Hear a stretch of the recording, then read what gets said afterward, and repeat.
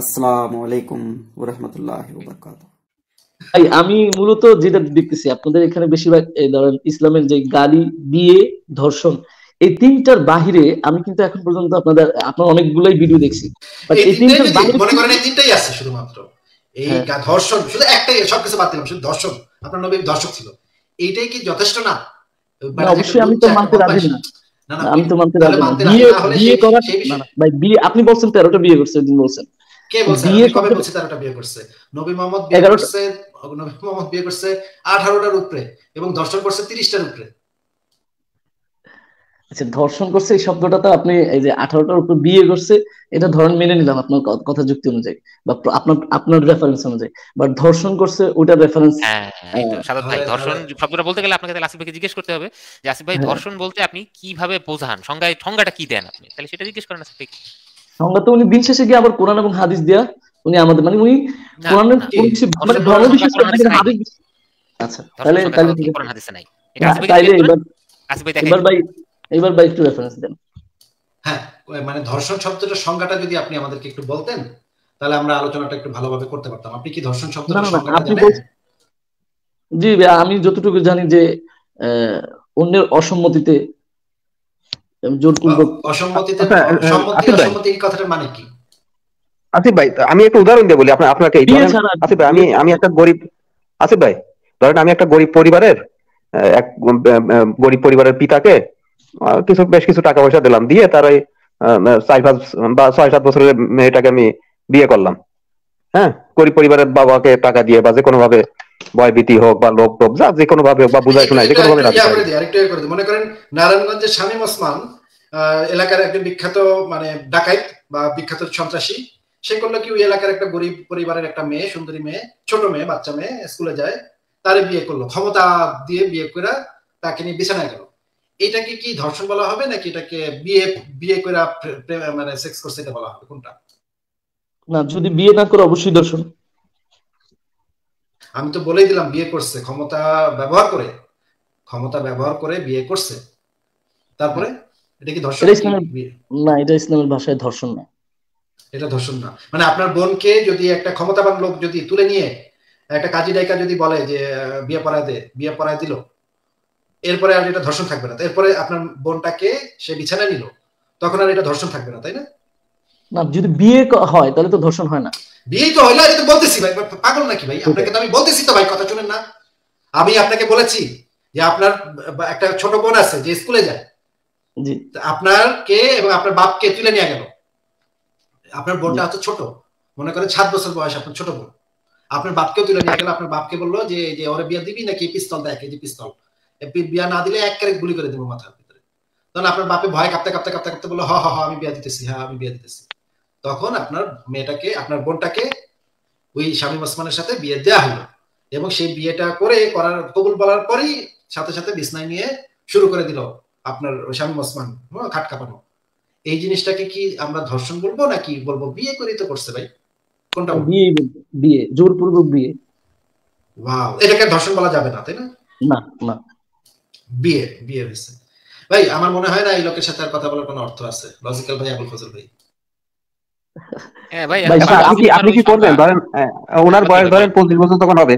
আমি আমি- আমার আমার মনে হয় ওনার বয়স পঁচিশ বছর কম। অনুমতি দেন? আমি জাস্ট এক মিনিট কথা বলে চলে যাব। আপনাদের বিরক্ত আপনার- করতে আপনার- আপনার এক মিনিট কথা শোনার মতো কোনো ইচ্ছা আমার নাই। না না, ভাই আমি জিনিস- just- আপ- আপনাকে আরেকটা জিনিস জিজ্ঞেস করি। আপনাকে আরেকটা জিনিস জিজ্ঞেস করি।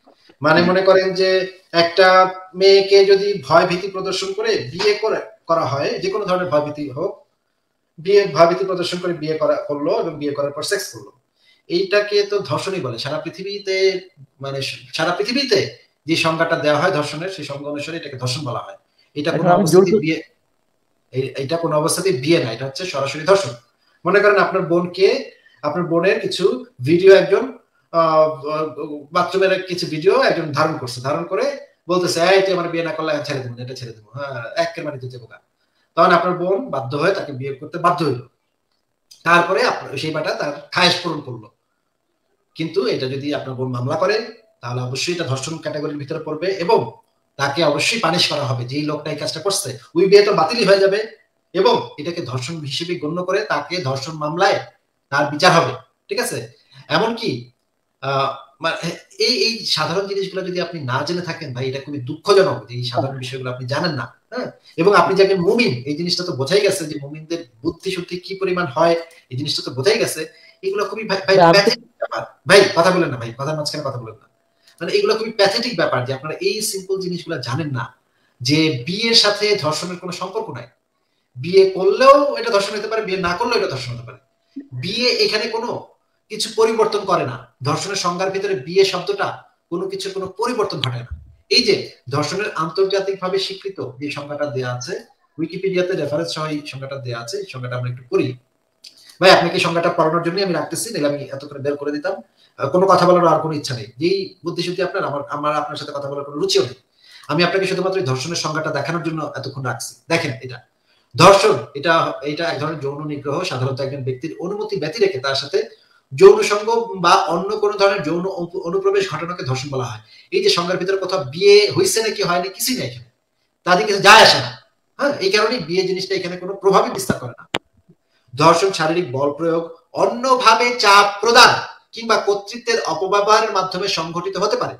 অনুমতি প্রদানে অক্ষম, যেমন কোনো অজ্ঞান, বিকলাঙ্গ, মানসিক প্রতিবন্ধী এবং অপ্রাপ্তবয়স্ক ব্যক্তি। এরকম কোন ব্যক্তির সাথে যৌন মিলনে লিপ্ত হওয়াও ধর্ষণের আওতাভুক্ত। এইটা সারা পৃথিবীতে ধর্ষণের একটা ওয়েল একসেপ্টেড সংজ্ঞা এবং সভ্য পৃথিবীতে একটা একসেপ্টেড সংজ্ঞা। এই সংজ্ঞার ভিতরে আপনার নবী কয়েকটা জায়গাতে ধরা খায়। ধর্ষক হিসেবে কয়েকটা জায়গাতে ধরা খায়। একটা হচ্ছে অপ্রাপ্তবয়স্ক ব্যক্তি, এই হিসেবে আয়েশার সাথে ধরা খায়। আরেকটা হচ্ছে কর্তৃত্বের অপব্যবহারের মাধ্যমে এখানে আরেকটা ক্ষেত্রে ধরা খায়, দাসীর সাথে সেক্স করতে এখানে ধরা খায়। অন্যভাবে চাপ প্রদান, এখানেও ধরা খায়। আরেক জায়গায় মেয়ের সাথে মেয়ের গায়ে হাত দিছিল সেখানেও ধরা খায়। বিভিন্ন জায়গাতে ধরা খায় আপনার নবী ঠিক আছে? আচ্ছা ভাই যুদ্ধবন্দিনীর কথাটা একটু উল্লেখ করে দিই আমি সেই সঙ্গে মানে হ্যাঁ, হ্যাঁ। সেনাপতি হিসেবে উনি ক্ষমতার অপব্যবহার বিজিত শত্রু বাহিনীর মেয়ে পক্ষের মেয়েদেরকে তুলে এনে যে মানে ব্যবহার করা সেই ক্ষেত্রে। তো যাই হোক মানে মানে এই শাহাদাত হোসেন ভাই আপনি আহ, যে কথাগুলো বলছেন সেগুলো খুবই ডিসগাস্টিং কথা। বিয়ে হইলে ভাই। খুবই ডিসগাস্টিং কথা। ভাই, এক- ভাই ভাই মিনিট জাস্ট ভাইবাদার হিসেবে কথা মানে ধর্মীয় হিসেব না বাট এক মিনিট কথা বলে চলে যায় আর কি। প্রথমে হচ্ছে যে আমার এক মিনিট পাবেন কিনা আমি বলতে পারছি না শেষ কথাটা আচ্ছা তিরিশ সেকেন্ড বলতে বলি যে আমার আচরণগত ভাবে এভাবে আমি আসলে এভাবে ধর্ম নিয়ে সবকিছু বিশ্লেষণ জানি না বাট আপনার সাথে কথা বলার ইচ্ছা ছিল। আমি দেখছি যে আপনি সবার সাথে কথা বলেন এবং প্রায়োরিটি দেন এবং প্রমাণ পাইলাম সেই জন্য আন্তরিকভাবে আপনাকে ধন্যবাদ। আর একটা বিষয় হচ্ছে যে ভাই আহ, আপনি যেভাবে রাইগা যান আমি জানি না যে নবী করিম সাল্লাল্লাহু আলাইহি ওয়াসাল্লাম রাগ করে ইসলাম প্রচার করেছে কিনা। বাট আমি পড়াশোনা অনেক আমি আছে। আমি অনেক আপনাকে কথা মাইরা- এই যে আপনি মাঝখান আপনাকে আমি মিউট করে দিচ্ছি। মাইরা পিটায় গলায় তরবারি ধরে ইসলাম গ্রহণ করতে বাধ্য করতো। অসংখ্য তো বাদ দেখাইছি এই দলিল। আপনি যদি দেখতে চান আবারও এখনও দেখাতে পারি। আপনি কি দেখবেন যে মাইরা পিটায় তরবারি তরবারি দিয়ে? আপনার বলছে আমি কিতাব করতে নাজিল হয়েছি। যতক্ষণ পর্যন্ত না লোকেরা বলবে লাহি লালা ততক্ষণ পর্যন্ত তাদেরকে মাইরা মিরা সাফ করে দিব। সরাসরি নবী মোহাম্মদের কথা। মানে কি থেকে কি বলে ভাই এগুলা? ভাই আর কথা শুনব না ভাই। এবং সেই সঙ্গে আসিফ ভাই তাকদির নিয়ে প্রশ্ন করলে ওনার গাল রাগ হইয়া ডালিমের মতো লাল হয়ে যেত না? বহু জায়গাতে মানে ইসলাম নিয়ে সন্দেহ করলেই সে চিন্তা আমি তার ফায়ার হয়ে দিত খুব বহু জায়গাতে আছে।